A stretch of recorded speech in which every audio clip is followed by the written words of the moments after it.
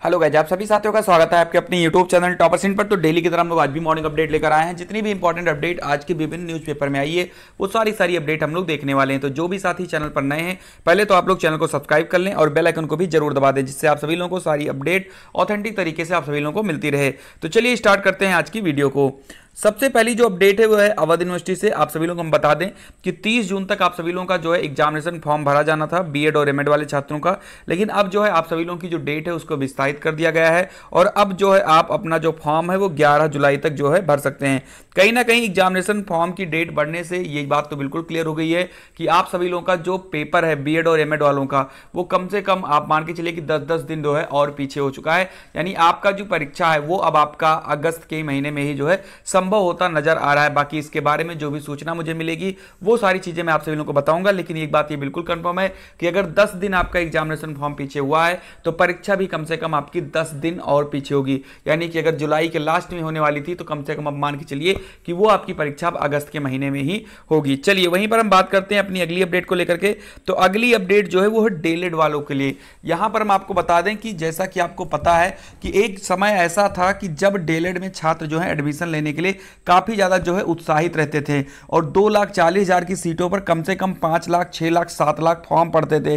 सरकारी कॉलेज तो छोड़िए, प्राइवेट के लिए जो है काफ़ी ज़्यादा जद्दोजहद करनी पड़ती थी। लेकिन आज जो है वही डेलेड कोर्स जो है अपनी साख बचाने पर जुटा हुआ है और उसमें कोई भी एडमिशन लेना नहीं चाह रहा है। आप सभी लोग को हम बता दें, आज जो है एक न्यूज़पेपर दैनिक जागरण में ये अपडेट निकल कर आई है कि पाँच दिन से डीएलएड में प्रवेश को सैंतालीस आवेदन।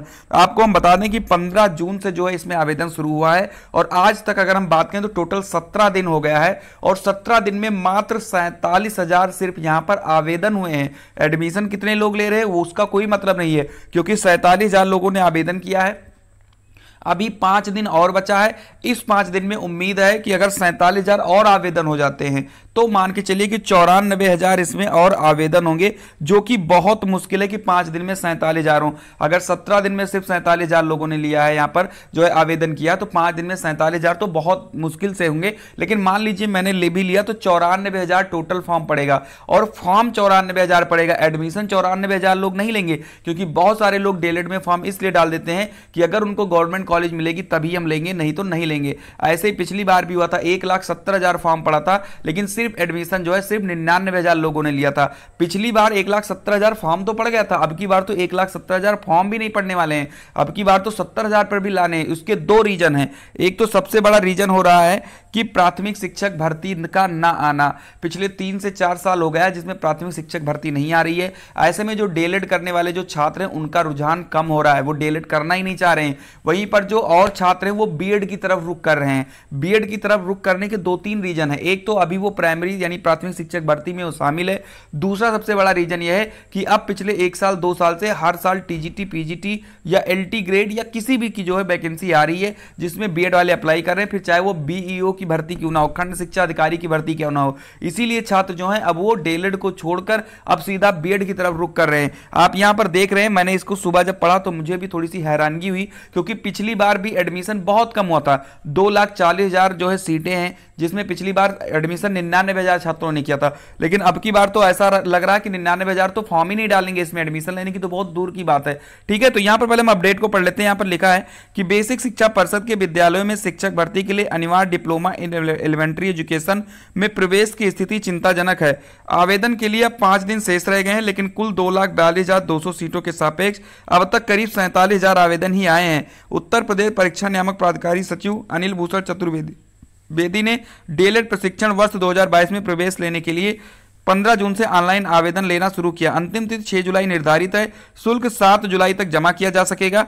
पीएनपी सचिव ने बताया कि प्रदेश के छाछठ जिला शिक्षा एवं प्रशिक्षण संस्थान, वाराणसी के एक सिटी कॉलेज के अलावा इकतीस निजी कॉलेजों में अभ्यर्थियों का प्रवेश जो है यहाँ पर दिया जाना है। तो आप यहाँ देख सकते हैं, आज दो तारीख हो ही गई है। सिर्फ़ तीन दिन और बचा है, यानी छह तारीख इसकी लास्ट डेट है और अभी तीन से चार दिन में कितना एडमिशन होगा, ये तो अब आगे ही पता चलेगा। ये कल का डाटा है, यानी दो तारीख तीन, चार, पाँच और छह, यानी सिर्फ़ पाँच दिन बचे हुए हैं और पाँच दिन में देखना होगा कितने लोग इसमें आवेदन लेते हैं। उसके बाद इसकी काउंसलिंग होगी काउंसलिंग में देखते हैं कितने लोग भाग लेते हैं। वैसे भी आप ये मान के चलिए कि जितने लोग यहाँ पर आवेदन करेंगे, उसके आधा ही लोग यहाँ पर एडमिशन लेते हैं। तो यहाँ पर अगर हम बात करें तो डेलेड जो है अपनी साख बचाने की अब कोशिश कर रहा है, क्योंकि डेलेड के तरफ़ जो है छात्रों का रुझान अब कम होने लगा है। ये चीज़ बिल्कुल दिख रहा है। और अगर ऐसे ही एक साल भर्ती अगर और नहीं आती है तो अगले साल इनको डेलेड कॉलेज को बंद ही करना होगा। ये भी जो मुझे पूरा अंदेशा लग रहा है, क्योंकि भर्ती नहीं आ रही तो छात्र जो है उसको लेकर के डिमोटिवेट हो गए और वो एडमिशन नहीं करवाना चाहते हैं। वो एक लाख रुपये नहीं फूकना चाहते हैं डीएलएड की तरफ़। इसीलिए वो डीएलएड को छोड़कर बीएड की तरफ़ जा रहे हैं कि अगर प्राथमिक शिक्षक भर्ती नहीं आएगी तो कम से कम टीजीटी भर्ती तो आएगी, एलटी तो आएगी, ये सारी चीज़ें तो हम देख ही लेंगे।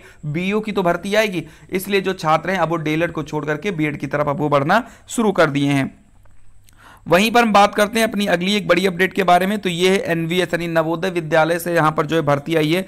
TGT, PGT, principal music teacher यहाँ पर आप देख सकते हैं और इसका आवेदन भी जो है आज दो जुलाई से जो है शुरू हो जाएगा। अगर आप इच्छुक हैं तो आप जाकर आवेदन कर सकते हैं।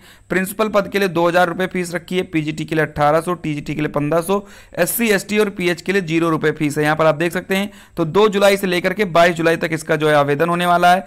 सोलह सौ सोलह पोस्ट है। अगर आपको इसका पूरा विज्ञापन देखना है तो आप जाकर इनकी ऑफिशियल साइट पर इनका पूरा विज्ञापन देख सकते हैं। या फिर आप टेलीग्राम ग्रुप में जुड़ जाइए। लिंक मैंने डिस्क्रिप्शन बॉक्स में दे दिया है। वहाँ पर भी मैंने इसकी पूरा का पूरा जो विज्ञापन है वो मैंने वहाँ पर जारी यानी कि डाल दिया है, अपलोड कर दिया है, आप वहाँ पर जाकर देख सकते हैं।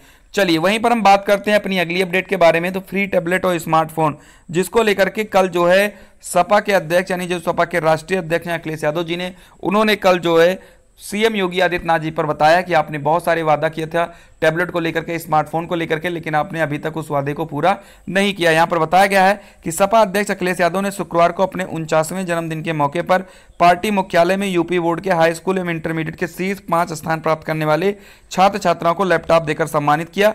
अखिलेश ने कहा कि हमारी सरकार नहीं है, इसलिए कुछ ही छात्रों को लैपटॉप दे पा रहे हैं। उन्होंने भाजपा सरकार को उसके संकल्प पत्र की याद दिलाते हुए कहा कि हमने सरकार को उसको वादा दिलाने के लिए ही लैपटॉप दिया है। भाजपा सरकार ने अपने संकल्प पत्र में लैपटॉप और स्कूटी देने के साथ ही आईटी सेक्टर के लिए जो घोषणा की थी, उसे जल्द पूरा करे।